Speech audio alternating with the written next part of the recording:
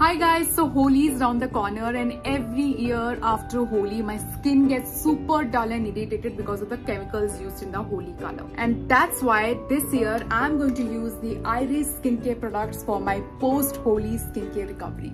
Let's watch it.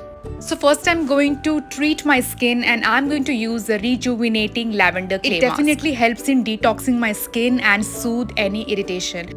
I'm going to keep this mask for 10 to 15 minutes and then rinse it off. I definitely feel a freshness in my skin. It has become more clearer and brighter.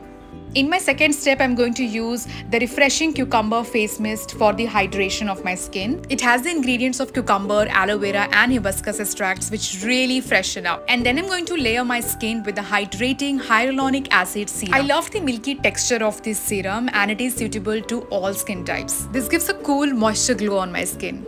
I'm going to top it up with a moisture retaining gel based cream. This cream is the perfect product for you to improve your skin structure and retain the lost moisture. I'm absolutely amazed with the impact it has given on my skin.